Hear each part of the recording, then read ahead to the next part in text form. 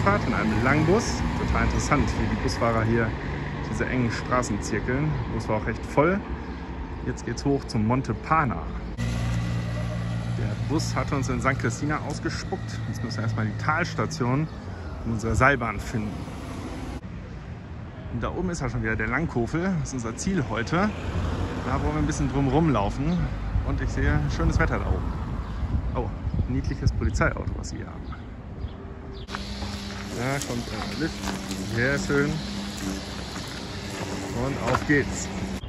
Was für ein schöner Ausblick auf St. Christina. Wäre dieser Baukran da nicht im Weg, ne? Auch interessant, diese Bahn hier fährt mitten bei den Leuten durch den Garten. Das ist ja auch interessant. Oh, LKW. Das ist aber anstrengend hier in den Bergen. also, Ankunft in der Mittelstation. Vor uns schon wieder Langkofel und Plattkofel. Das wiederholt sich jetzt immer. Wir suchen jetzt die nächste Aufstiegshilfe. Die ist da hinten. Dann nähern wir uns dem geplanten Rundweg. Oi, fast vergessen. Dieser Ausblick da Richtung St. Christina und zur Stevia da oben. Und ganz links kann man von hier aus kaum sehen. Da waren wir auch so. Seceda.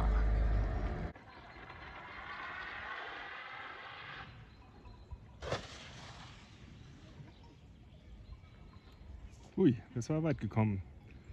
Also bevor es jetzt richtig losgeht, haben wir noch tatsächlich so eine Skisprungschanze gefunden. Hier wird auf Matten gesprungen. Auch mal interessant zuzugucken.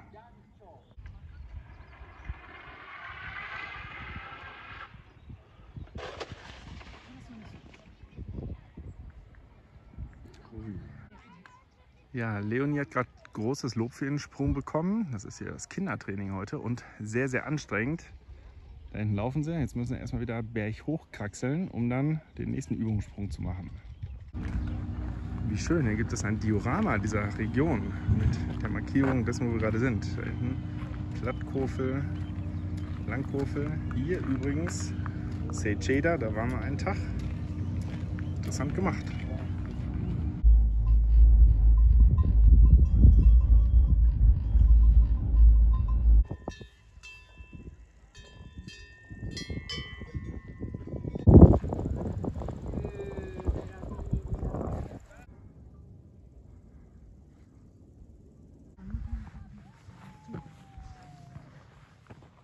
Mach's jetzt. Mhm.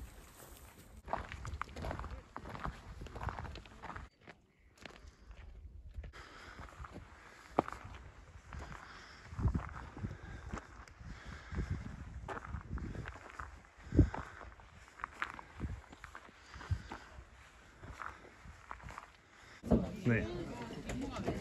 Essen ist da. Das war so im Ausblick hier. Traum. So, jetzt gab es gerade Mittagessen hier auf der schönen Hütte. 2256 Meter. Unser Ziel aber äh, ist deutlich weiter oben, 2685 Meter. Wir haben uns ja dazu entschlossen, dass wir jetzt hochlaufen wollen. Machen wir auch, ne? Ja, das machen wir jetzt und deswegen müssen wir langsam auch mal los, weil wir wollen ja runter auf jeden Fall gerne wieder mit dieser spannenden Gondelbahn fahren. Ja, ja, und weil wir so ein Talent dafür haben, die letzte Bahn zu verpassen, das darf uns heute nicht passieren. Nee. Los geht's. Gleich sind wir am finalen Anstieg. Da oben ist hoch. Uiuiui, da wird dann bestimmt schon warm. Aber ganz schön zugig hier oben. Was gibt's da zu lachen? Ja, dein Witzchen ist witzig. Das ist egal, aber schau da hinten ins Tal. Diese großen Steine und Mondlandschaft hier. Das ist ein Traum. Das ist total einfach mal was anderes. Wir haben natürlich jetzt nicht so viel Ausblick in alle Richtungen. Aber man sieht, wie klein man ist im Vergleich zu den Bergen. Das ist auch schon sehr imposant. Also.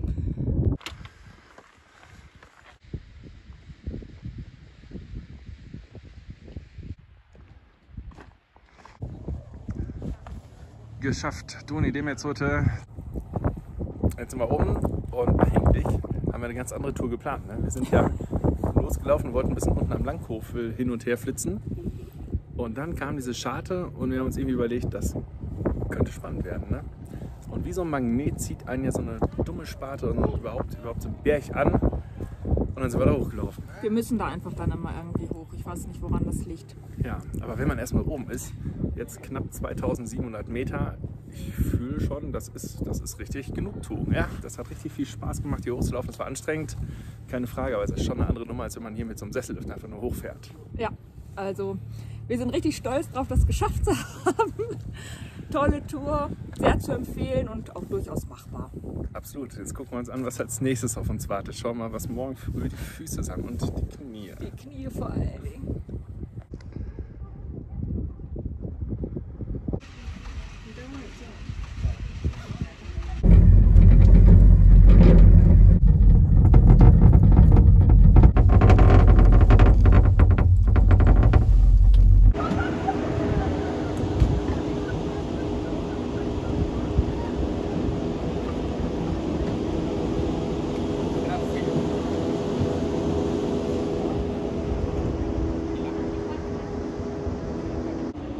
Das war unsere Bergtour durch die Scharte, durch die Langkofel-Scharte dort oben. So ein paar mehr Infos und Details zur Tour gibt es in einem extra Clip auf unserem Kanal. Hat sich wirklich gelohnt. War eine richtig, richtig tolle Runde, die wir gemacht haben, obwohl es eigentlich anders geplant war. Und dann noch als Abschluss hier wieder mit diesem super schönen Sessellift. Jetzt geht es mit dem Bus wieder heimwärts.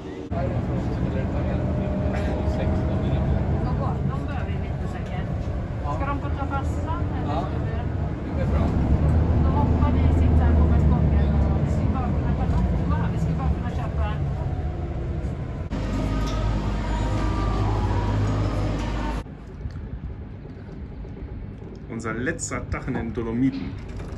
Heute geht es zunächst mal mit der Jumpo Neubahn auf dem Berg.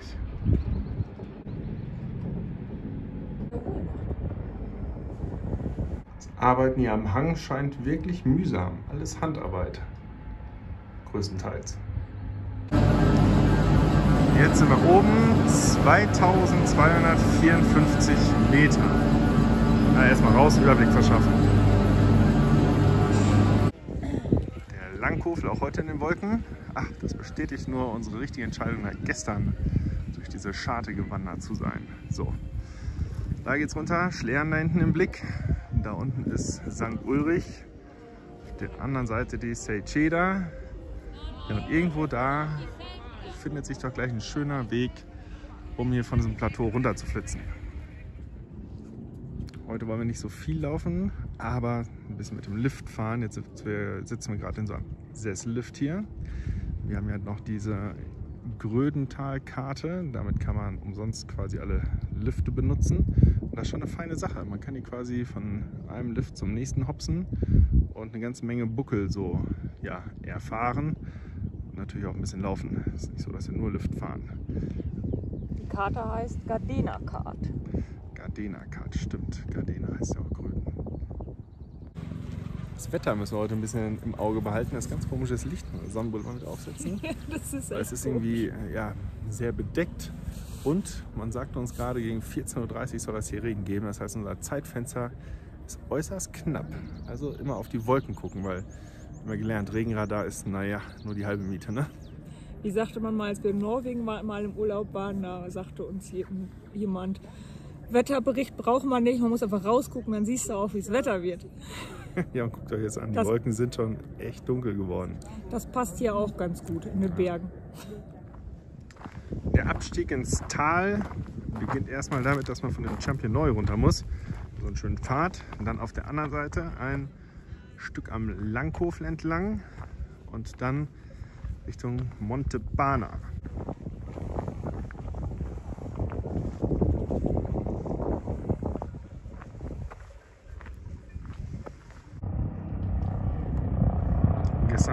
1 zu Volksauflauf. Heute ist es deutlich leerer.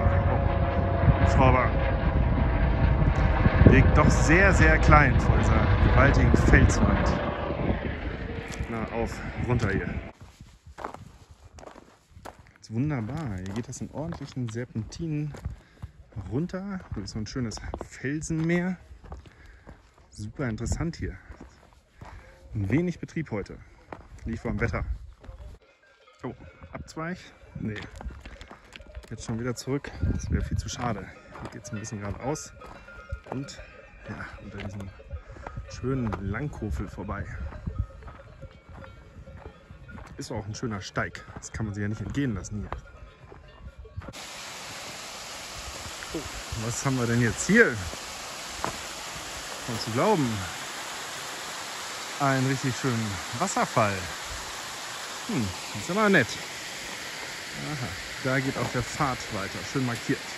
Erst ein kleiner Wasserfall, dann eine schöne Herde glücklicher Almkühe. Bergöl pur, bis auf die dunklen Wolken da hinten.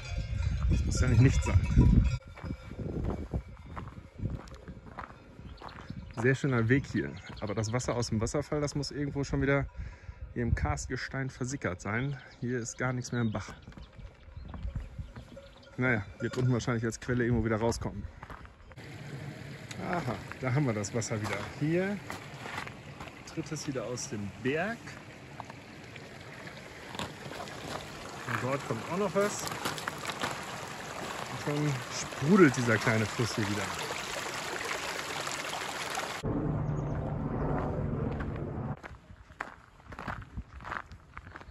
Der Blick auf die Monte Pana. Hochebene oder eine Alm. Da gibt es Hotels, da gibt es eine ganze Menge zu erleben. Ist ein bisschen ja, freizeitorientiert alles dort. Da sind wir gestern schon mal vorbeigeschossen mit dem Sessellift, als wir Richtung Langkofel scharte. Zuerst einmal die Aufstiegshilfe genommen haben, um grob in die Richtung zu kommen. Oh, hier noch ein bisschen Sumpf, einen schönen Holzsteg, der uns darüber führt.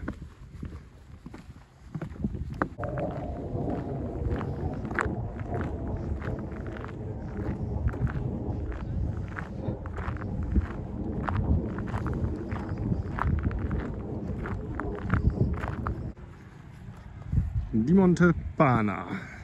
Riesengroßer Spielplatz. Eben gab es schon einen richtig dollen Wasserspielplatz. Ponyreiten gibt es hier. Minigolf da unten. Dann noch diese kleinen Sprungschanzen, die wir uns einen Tag beguckt haben. Und so ein paar Verrückte, die sich hier an so einem Seil den Berg runterschießen lassen. Ja, und schön viel Heu, gutes Wetter. Der Regen ist noch ein bisschen weiter weg. Und jetzt gilt es zu überlegen, die Runde noch ein bisschen auszuweiten oder mit der Seilbahn wieder runterzufahren ins Tal. Hm, schwierige Entscheidung. Bevor es jetzt ins Tal geht, geht es doch noch mal einmal wieder hoch auf die Bergstation mit dem Lift.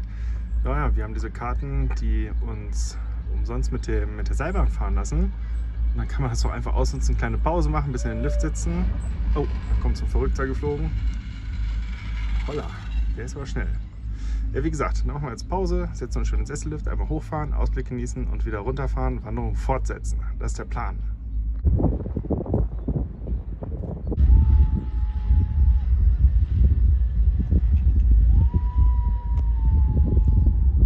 Der schreit aber gewaltig da oben an dem Seil.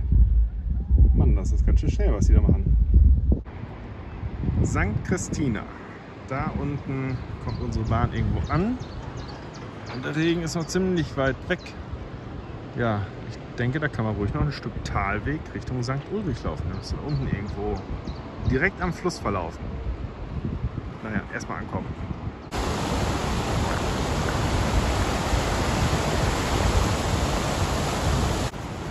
Hm, der Talwanderweg ist wirklich schön. Oh, kleiner Anstieg da drüben. Naja, den kriegen wir auch gerade noch so bewältigt heute. Aber hier im Wasser ist hervorragend.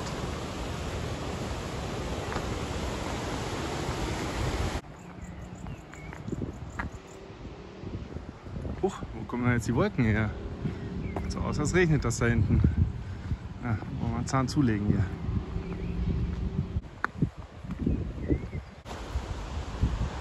Talweg ist super ausgeschildert. Manchmal läuft man erst auf so eine privat anmutende Einfahrt zu, traut sich gar nicht weiter zu gehen und dann geht auf einmal doch so ein kleiner Pfad daneben her. Ah, da unten ist ein Fahrradweg, sehe ich noch. Und die Straße verläuft weiter oben. Interessant.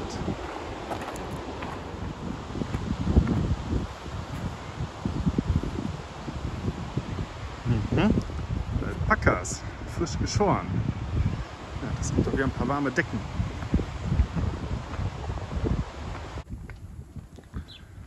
Nachdem wir unsere Wanderung heute Vormittag Richtung St. Ulrich, ja, kurz vor St. Ulrich, haben abbrechen müssen wegen zu viel Regen- und Gewittergefahr. Nee, es hat auch wirklich geregnet. Gibt es jetzt noch so einen kleinen Abendspaziergang rund um Wolkenstein. Das Wetter hat sich wieder beruhigt. Zwar droht noch ein bisschen Regen, aber das Risiko ist überschaubar. Also nochmal eine schöne Runde ums Dorf. Erstmal geht es Richtung Langenthal. Die, Kul die Kulisse ist hier einfach wunderbar. Große Felsen, schöne Abendsonne, gepflegte Häuser in den Hanglagen. Einfach schön anzuschauen. Ein kleiner Nachtrag noch zum öffentlichen Personennahverkehr hier im Grödnertal. Der hat uns heute Nachmittag auch gerettet vor dem Regen. Denn wenn man hier übernachtet, bekommt man eine Gästekarte, mit der man für umsonst sämtliche Buslinien benutzen darf. Die Busse hier fahren so zwischen 10 Minuten und 20 Minuten Takt, also sehr, sehr oft. Und das macht es natürlich einfacher, wenn man unterwegs ist beim Wandern. Man muss nur gucken, dass Start- und Endpunkt immer eine Bushaltestelle haben. Also muss Start- und Endpunkt nicht immer der gleiche, die gleiche geografische Position sein, sondern nur eine Position in der Nähe einer Bushaltestelle.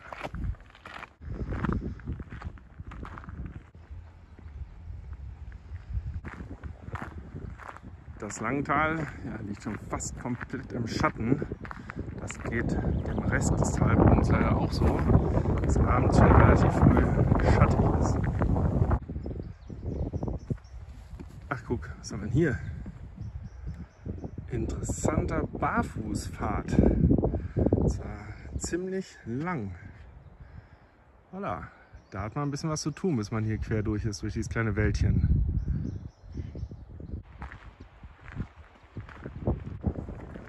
Da haben wir also die Silvesterkapelle.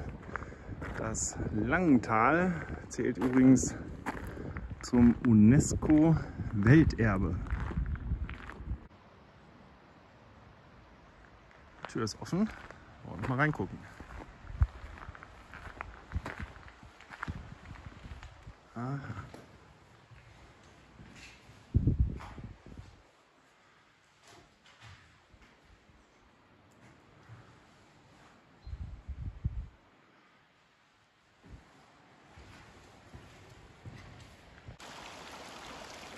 Schönen kleinen Zulauf äh, eines kleinen Baches vom Berg gibt es hier noch und was zum Wasser nachfüllen, wenn es mal besonders heiß ist.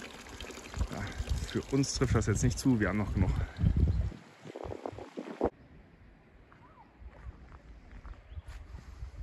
Jetzt geht es da vorne gleich mal in den Wald und auf die Gegenseite von Wolkenstein. Dann spart man sich den steilen Anstieg darauf. Das hat hoffentlich auch noch eine schöne Aussicht.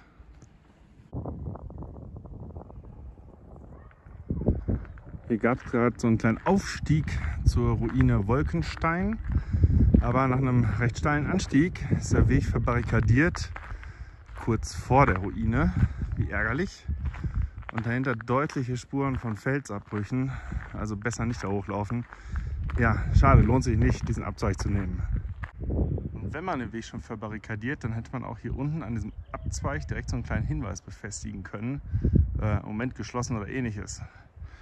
Hätte man sich ja, diese Hochkletterei auch sparen können.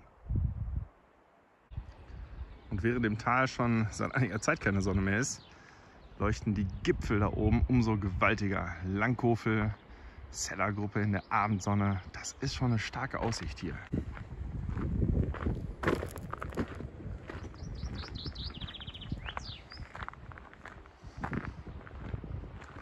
Man echt aufpassen, wo man hinläuft. Hier vor lauter Glotzen, nach unten, nach oben, dass man nicht vom Weg abkommt.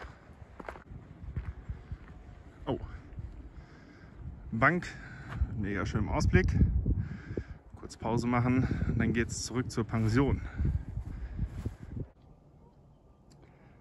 Mit diesem schönen Blick auf den Schlern und die Seiseralm dort hinten und natürlich den Langkofel dort oben, den Baukran hier neben uns, endet unser Urlaub jetzt in den Dolomiten leider schon.